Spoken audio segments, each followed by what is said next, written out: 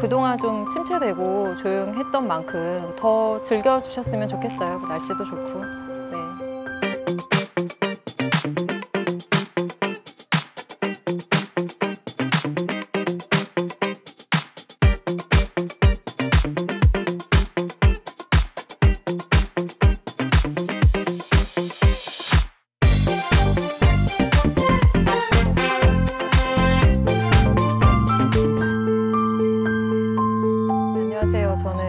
2022년 아트 경기 선정 작가 정주희라고 합니다. 저는 회화와 영상을 매체로 작업을 하고 있고 개인이 사회에서 주고받는 영향들을 좀 들여다보는 작업을 진행하고 있어요.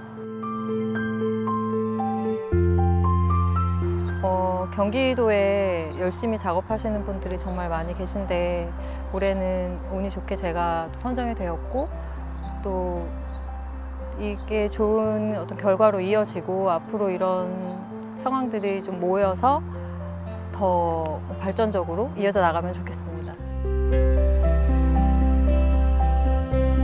뭐 일상 속에서 어떤 물음이 생겼을 때 이거를 메모하고 공유하고자 하는 표현적인 욕구가 생겨서 작업을 하게 된 계기가 된 것 같아요.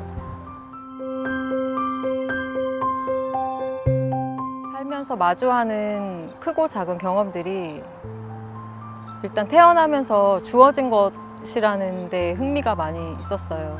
그래서 어떤 뉴스나 어른들의 대화 이런 정보들을 축적해 가면서 저희가 계속 거기에 의존하면서 살고 있는데 그것들을 한 번씩 어, 되짚어 보고 저라는 한 개인을 통해서 어, 다른 의미가 있지는 않을까 하면서 좀 궁금해하고 그런 것들을 해소하는 과정이라고 보시면 될 것 같고 또 제가 작업에서 나타내고자 하는 거는 어, 또 개인이 담고 있는 크고 작은 에너지들이라고 네, 생각합니다. 그냥 보시고 싶은 대로 보셨으면 좋겠어요. 이게 뭐 큰 의미가 있을 수도 있고 이런저런 것들을 해석하고 의미를 찾으려고 노력하시는 것도 물론 재미있겠지만 감상하는데 그냥 휙 지나가서 뭐 눈에 안 보이면 안 보이는 대로 아니면 천천히 보시고 싶으면 보시고 싶은 대로 그냥 편하게 본인이 감상하는 스타일로 하시면 가장 좋을 것 같아요. 근래에 와서 드는 생각이 아무것도 아닌 건 없다 라는 생각을 많이 하거든요.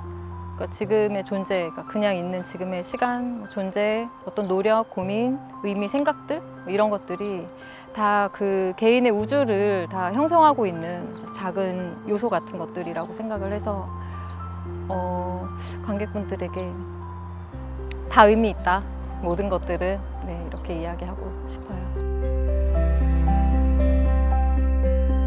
슬럼프를 딱히 의식하지는 않는 것 같고 그리고 슬럼프를 극복하려고 노력하지도 않는 것 같아요. 그러니까 말하자면 저희가 감기에 걸리면 뭐 병원을 가서 독한 주사를 맞고 약을 먹으면 금방 낫기는 하지만 안 먹어도 낫잖아요. 저 같은 경우에는 그냥 이불 뒤집어 쓰고 땀 빼는 스타일이고 그런 슬럼프라는 눈에 보이지 않는 어떤 괴물이 뭐 저를 좀 슬프게 하면 별일 아닌 거에도 눈물이 나고 화나게 하면 막 별일 아닌 거 욕도 하고 하면서 어떤 그런 내면의 생채기들이 어떻게 이렇게 또 내면의 어떤 반감들이 어떻게 표현이 되는지도 알 수 있고 그래서 그냥 더우면 더운 대로 추우면 추운 대로 받아들이는 편 그렇게 사는 편이에요. 네. 저희가 일상에서 별것 아니게 지나치는 것들 이런 것들을 좀 꼼꼼하게 되짚어 보고 싶어요. 그 저희가 살면서 만나는 거대한 것들, 뭐 정보라든지 또 거대한 자본, 뭐 기술적인 것들, 뭐 이런 것들 안에서 사실 저희가 누구와 경쟁하고 있는지도 모르게 계속 경쟁을 하는 삶 속에서 살고 있는데 그 삶, 그런 삶과 또 한 개인이라는 인간의 그 균형을 어떻게 하면 찾을 수 있을까?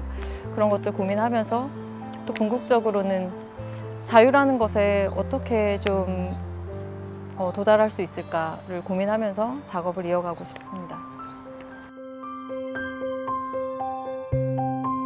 계획이 없어요. 네.